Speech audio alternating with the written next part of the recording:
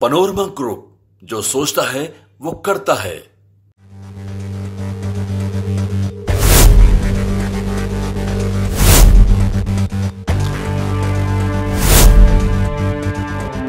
नमस्कार, आप देख रहे न्यूज़ फॉर नेशन और मैं स्वाति पांडे आपके साथ। इस वक्त की बड़ी खबर, पटना, राजधानी पटना के दानापुर से निकलकर सामने आ रही है, जहाँ आपको बता दें कि गंगा नदी में डूबने की वजह से एक बीपीएससी शिक्षक की मौत हो जाती है।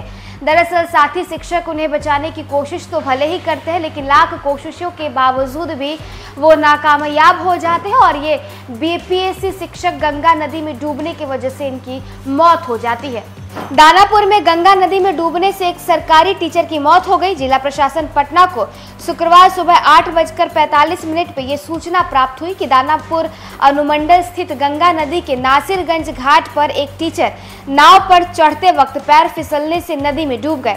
शिक्षक का नाम अविनाश बताया जा रहा है। उनका पि, उनके पिता का नाम राजकरण प्रसाद है और वो सरथुआ पटना के निवासी हैं। दरअसल ये उत्क्रमित उच्च माध्यमिक विद्यालय छोटा कासिम चक में पद स्थापित है। बता दें तो जिलाधिकारी की ओर से सूचना प्राप्त होती ही एसडीआरएफ की टीम जो है वो घटना स्थल पर पहुँची है। इस दल की ओर से डूबने वाले शिक्षक की खोज की जा रही है। प्रखंड शिक्षा पदाधिकारी एवं प्रखंड विकास पदाधिकारी दानापुर को भी घटना स्थल पर भेजा गया है। इस दौरान पदाधिकारियों की ओर से खोज अभियान का पर्यवेक्षण किया जा रहा है। बता दें तो जिलाधिकारी ने निर्देश पर अनुमंडल पदाधिकारी दानापुर एवं सहायक पुलिस अधीक्षक दानापुर भी घटना स्थल पर जा रहे हैं। वहीं जिलाधिकारी ने शिक्षा जिला पदाधिकारी, पटना अपर जिला दंडाधिकारी, पटना सहायक पुलिस अधीक्षक दानापुर तथा अनुमंडल पदाधिकारी और साथ ही साथ दानापुर को खोज अभियान की रिपोर्ट लेने को कहा है। बता दें तो पटना के दानापुर गंगा नदी के नासिरगंज घाट पर हुई दो नाव की टक्कर में बीपीएससी शिक्षक अविनाश कुमार की मौत हो जाती है।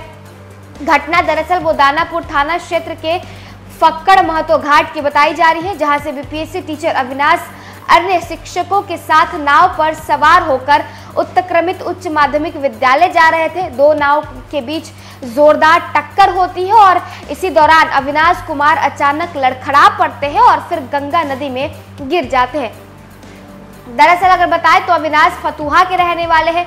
इस घटना की खास बात यह रही कि उनके साथ मौजूद लोगों ने उन्हें बचाने का प्रयास तक नहीं किया। उनके साथ अन्य साथी शिक्षक भी मौजूद थे। उनका कहना है कि अविनाश को तैरना नहीं आता था, जिसकी वजह से वो डूबने लगा। मगर वहाँ मौजूद नाविक और अन्य लोगों ने उन्हें बचाने की कोशिश तक नहीं की।